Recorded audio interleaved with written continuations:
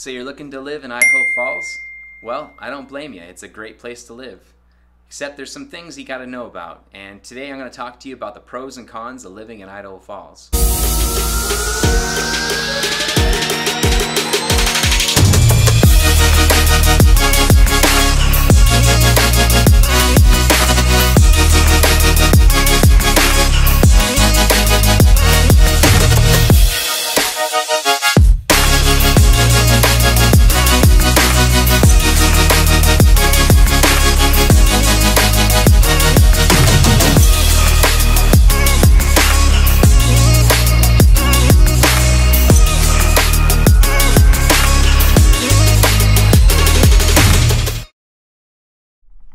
All right, so if this is your first time here, I'm Sean Boswell. I'm a real estate agent out here in southeastern Idaho, and this is Living in Idaho Falls. Uh, please subscribe and hit the bell notification to get notified. Uh, we try to release at least one video every week. Make sure you're in the know of Idaho Falls and what's happening in the market, as well as what to look for in the area before you move out here. And so, uh, get to know this area, get to know what it's about, and really give you an introduction as to why you should or should not move here. You know, really big pros and some of the biggest cons that I've I think almost every single person that's ever lived here figures out real quick within the first year, if not the first winter, you know. So, one of the biggest pros of living in Idaho Falls is by far the cost of living. So, most people, that's probably why you're drawn to it as well, is it's way cheaper to live here than other places like California, Nevada, Arizona, Washington, Oregon. Um, in the West, Idaho is probably the cheapest. However, in the last few years, we've seen a big uptick in prices and almost maybe a 70% increase in the last three years, in the housing at least. Um, everything else, due to inflation, has increased, but according to payscale.com, we are about 41% cheaper than the rest of the United States to live in. Um, so, what that means to you is more money in your pocket, especially if you're working remotely, like a lot of people are these days after COVID. Um, so, one of the things uh, you can think about when you're moving here is how much is it going to cost me for utilities? Um, how much are going to how much is it going to cost me for groceries? How much is fuel going to cost me comparatively? And I'll tell you those numbers right now. Uh, utilities are 17% less. Um, that's huge right there. Um, that's a good chunk of change back in your pocket. Um, gas prices, like you know, everyone's hot topic right now because of inflation, is 13% lower and roughly on the groceries it's about 16% lower. So some huge savings compared to other places. So i think that's what draws a lot of people to coming to idaho. I think one of the next biggest things that uh, draws people to idaho is really the outdoors. There are a lot of great places to go out here. Uh, right off the bat you are about two hours away from yellowstone from here. Um, so when you want to go travel up to those uh, steaming pools of color and go see the buffalo and not ch- be chased by one, um, for sure you're going to be able to go there every summer if you want to. Um, another pl- close place is the Tetons.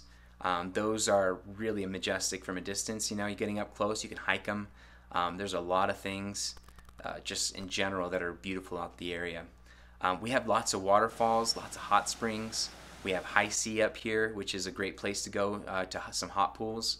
Um, if you want something more commercial or with pools in itself, something like a hot springs where you can go and dip yourself in. There's Goldbug, which is a great place, and it's kind of a hush hush, don't tell everyone. But it's a wonderful place to go if you want to try something um, out in the wilderness and see what really Idaho's like. Um, some of the most beautiful falls that are easy to hike to right off the bat are the Falls Creek Falls.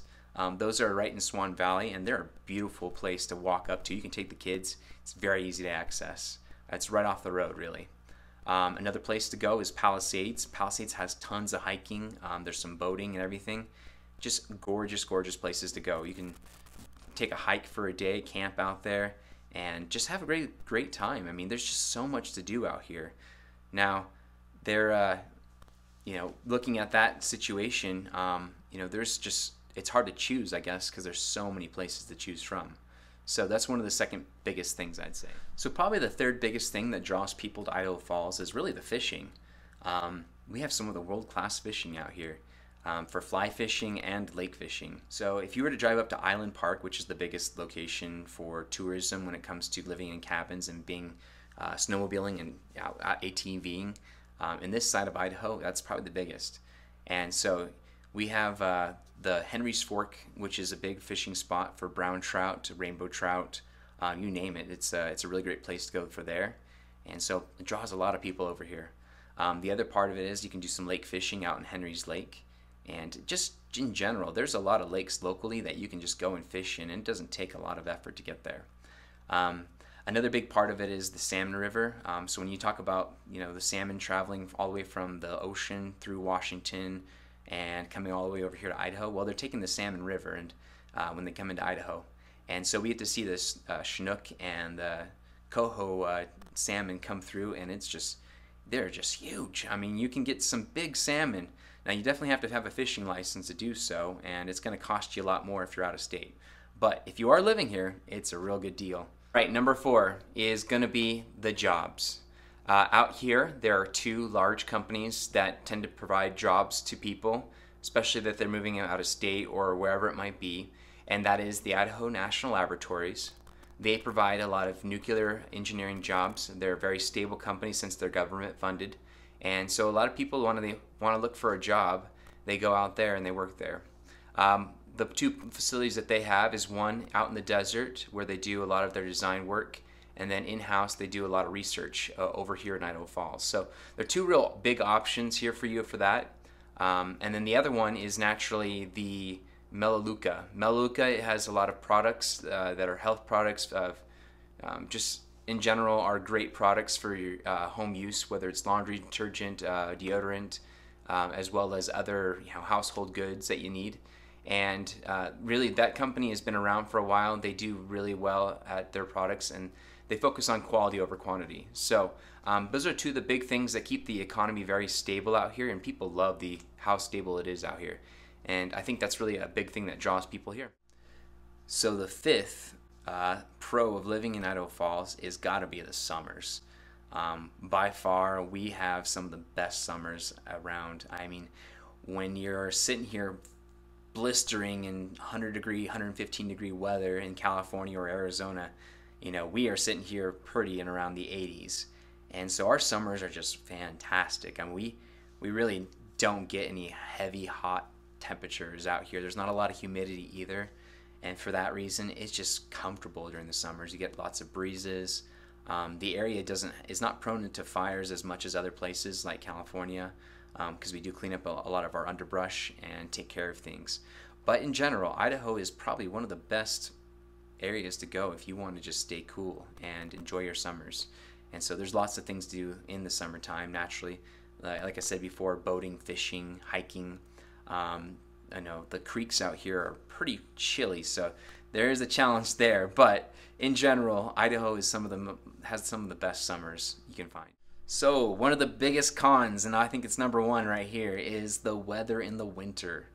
Uh, there are lots of cool things to do in the winter. Don't get me wrong, snowmobiling is awesome, uh, ice fishing is awesome, but when it comes to coldness, most people stay indoors most of the winter. And it's because it gets to the negative 10s negative 20s sometimes even the negative 40s um, for one day or two days out of the year. And it's not easy to live in that you know? Um, being cold is you're gonna have to get used to it when most people come out in the spring and it's you know warm in the 40s like we think 40 is warm and uh, you know naturally the humidity is lower out here and so for that reason it does feel uh, less cold than, say, something like Michigan, where there's a lot of a lake effect. But in general, Idaho is cold, so be prepared. So, probably the second biggest con of living in Idaho Falls is we're not close to anything. Now, we're a small town, like I said before, and for that reason, we don't have a lot of big amenities when it comes to concert venues. Um, we have the Civic Center, which is pretty great. Um, there's also, you know, they're building a new center here that's supposed to be bigger, and allowed to have more bigger concerts. And I believe it's called the Mountain America Convention Center, but I'm not sure. I think name pending.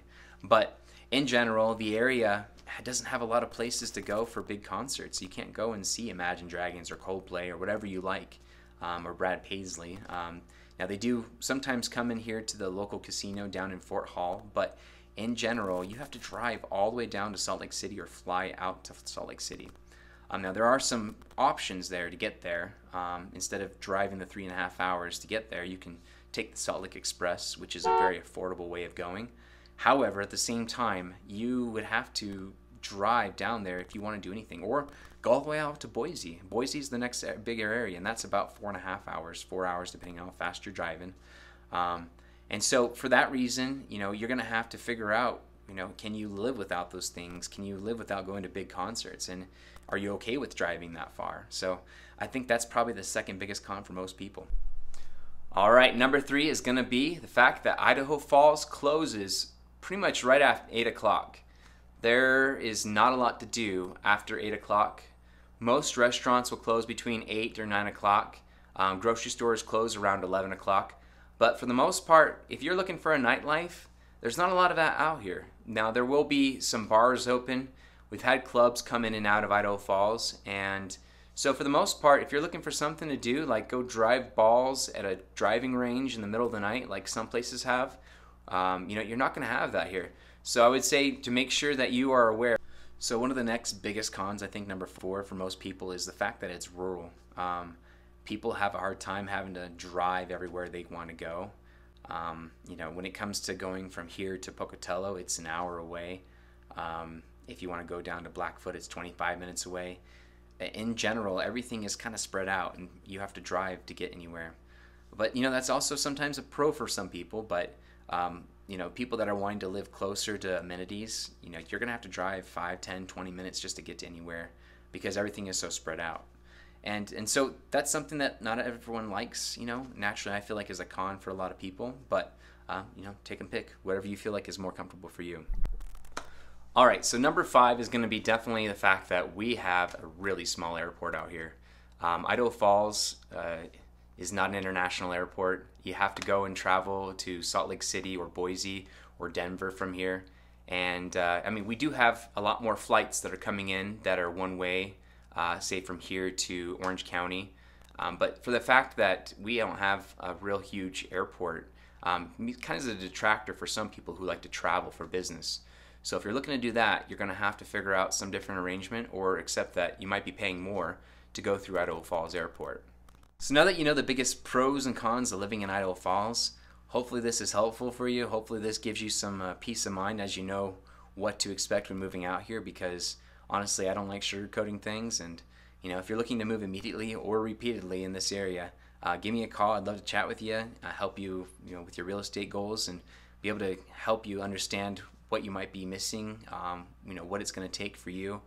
Uh, and naturally, I'm not going to be living with you, so uh, you got to make your own decisions. I can't make them for you, but uh, naturally, I can tell you the biggest areas to look for, and so you're familiar with the area before you come out here. Um, if you'd like to get a hold of me, my uh, number, you can text or call me in the description. I also have an email in there.